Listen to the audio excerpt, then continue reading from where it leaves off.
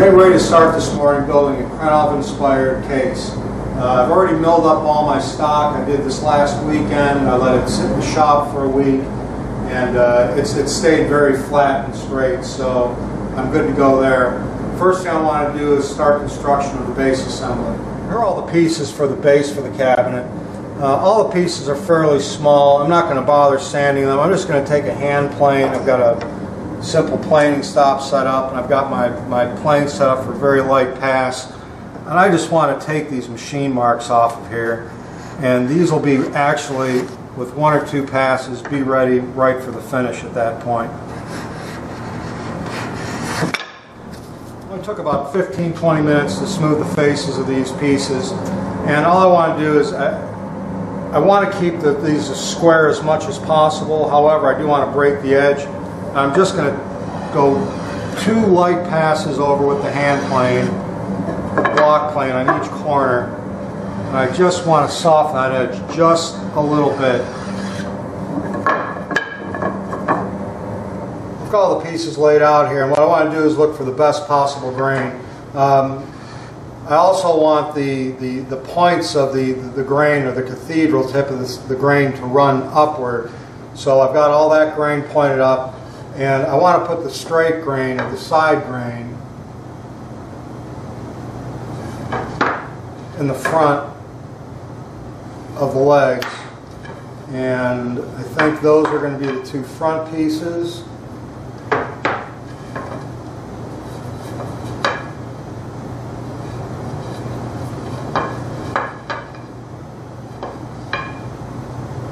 And those will be the two back pieces. So on the top of them,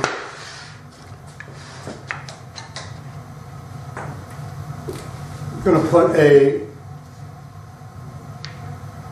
triangle on the end.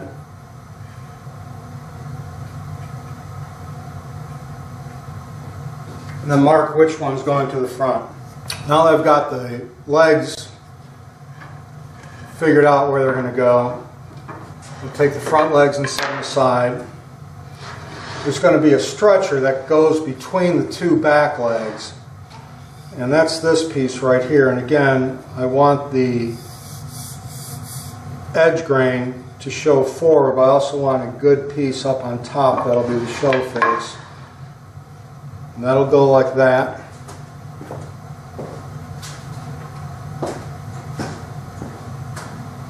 I just need to mark that.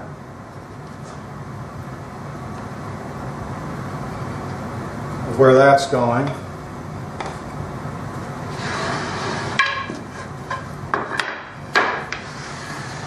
Now on each side, there's going to be another stretcher that goes like this. And again, I want to look at the grain, and that looks pretty good.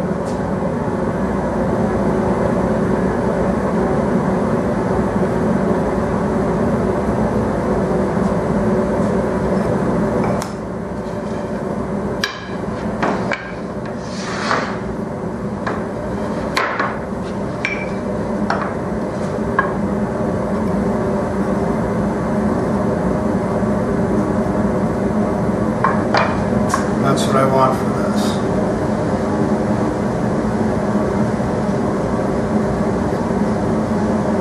All right, now I just need to lay out for the uh, joinery. I've got the front facing me, and this is the front of the piece. Um, got two pieces that are going to be the front and back rail, and I want to choose the best one that again is going to go in the front and be the show face. So I like that right there. Mark this.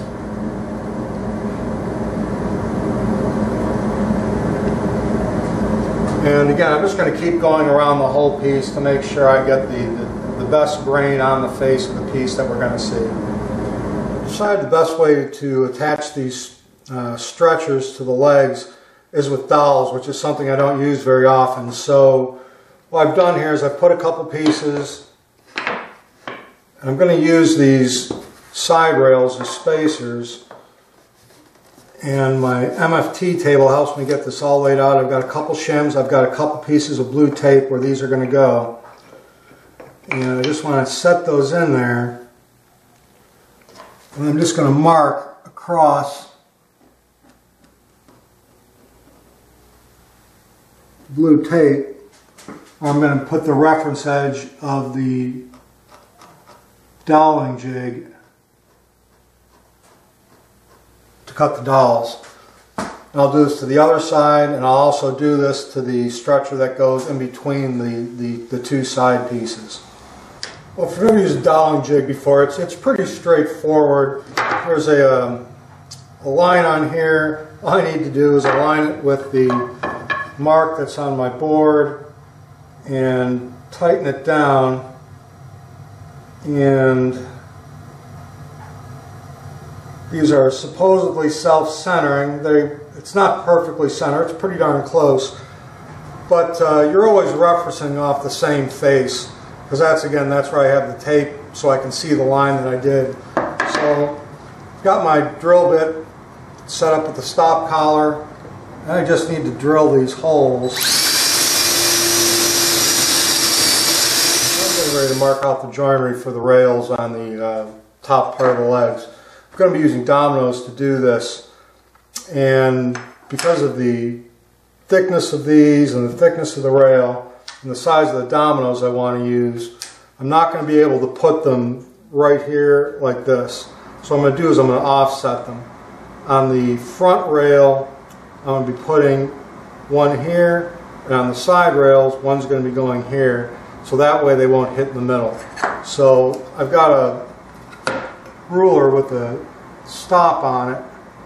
I just want to mark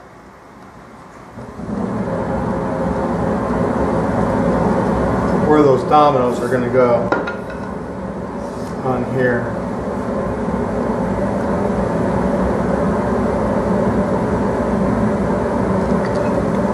I want to take this, put it down, make that same mark where the tenon is going to go on the legs. I've got one of the rails clamped into my tabletop and uh, I'm going to be using 8 by 40 millimeter dominoes. These are going to go in 25 millimeters on the rails and 15 millimeters on the legs. So I've got my, my depth adjustment made and uh, I just need to make the cut.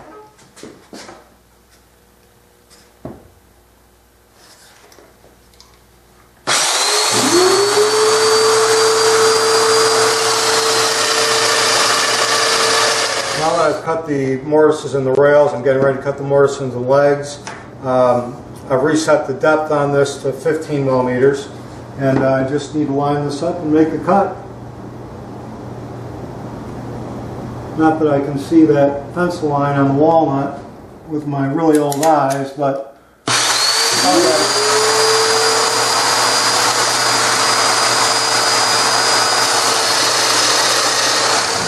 last thing I need to do before I glue this all up. I've got my stacked dado head cutter and the uh, table saw. I've got marked where I want to put these. What I want to do is I want to put a quarter inch deep, three quarter inch wide dado along the inside face of these rails. Uh, that'll give me some, some place to put some glue blocks for some extra support and also a place where I can attach the top case to.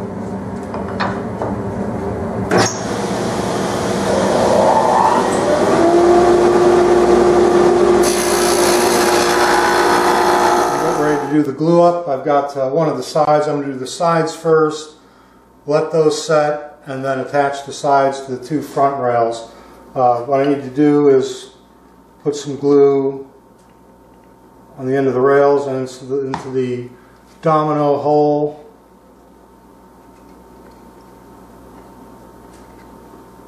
Make sure that's spread around. I'm not going to put any glue on the on the uh, legs just on the ends of these. With the domino that should be more than enough. Well, after a little bit of fussing I've got it in the clamps. Uh, it's nice and square and I'll put this aside and get started on the other one. I've got the two sides out of the clamps now, and I, I took some time to, to plane down the, the, the rails to the legs to make sure they're nice and flush on the outside. And now I'm just getting ready to glue up the two sides with the front rails. So let's get to it.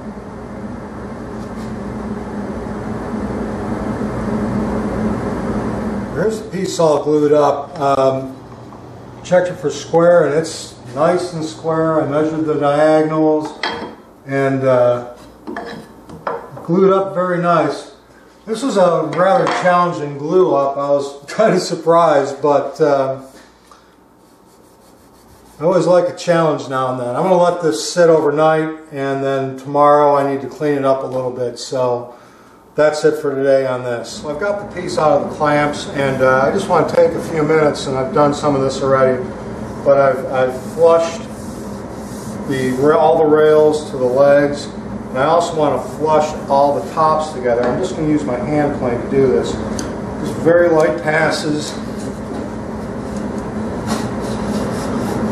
I just want to make sure, this is actually the final pass. Just want to make sure that these are all nice and flat and even all the way around.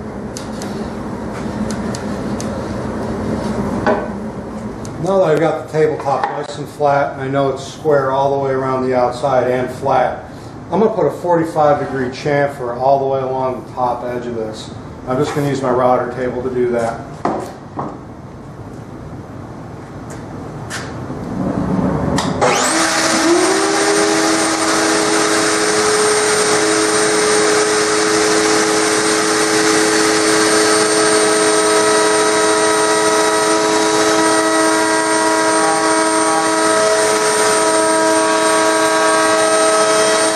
after Done that, uh, you can see how that adds a real nice visual detail to this.